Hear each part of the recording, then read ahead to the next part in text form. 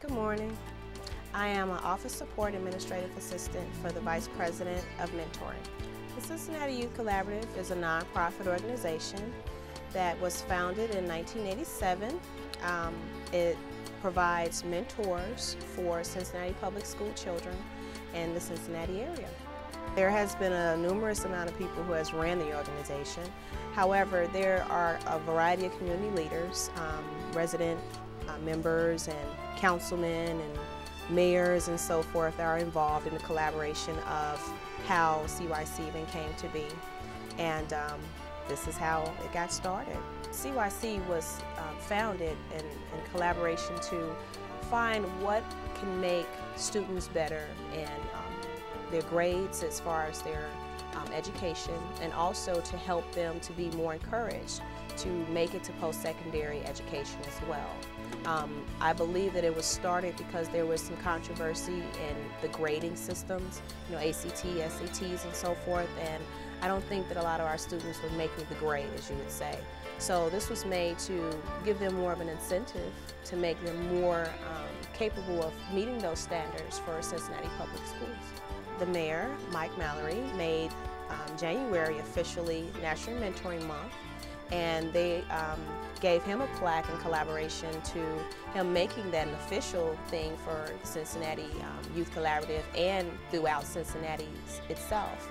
Um, it's made to provide uh, an acknowledgement for all the volunteers and all the mentors who provide such a good service to um, students who attend Cincinnati Public Schools. You know, it takes a lot to come outside the box and do what they do, and a lot of them have families. They have their own um, things that they deal with with their children, and they do that extra. They go the extra mile to make sure that other children are um, making it in high school, and not just barely making it, but really succeeding highly, so that they can make it to college and be very successful.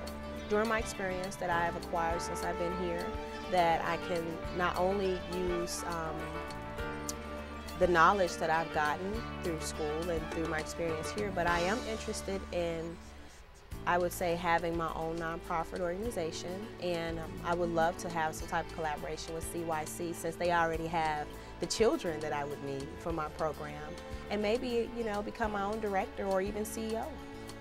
You have to be able to know how to talk to your coworkers, you know, your executives, as well as the parents to the students who are interested in becoming a part of CYC. It's very important for you to have that um, good communication because in order for your students to be successful, um, the parents have to be involved. And we also offer a program called um, Educational Talent Search, which is um, acronyms ETS.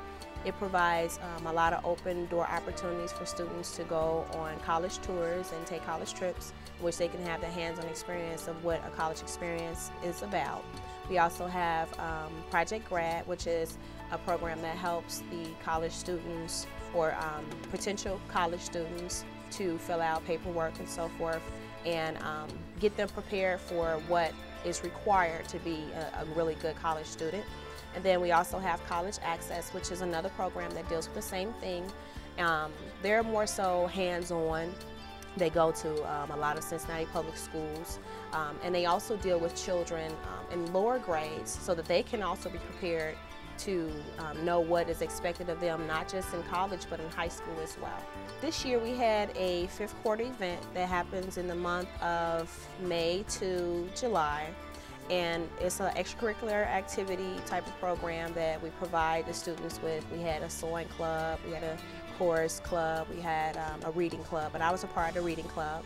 Well, um, there's a school we went to named Euler, and um, we were dealing with students ages, um, well, grades, grade levels fourth and fifth, and fifth and third.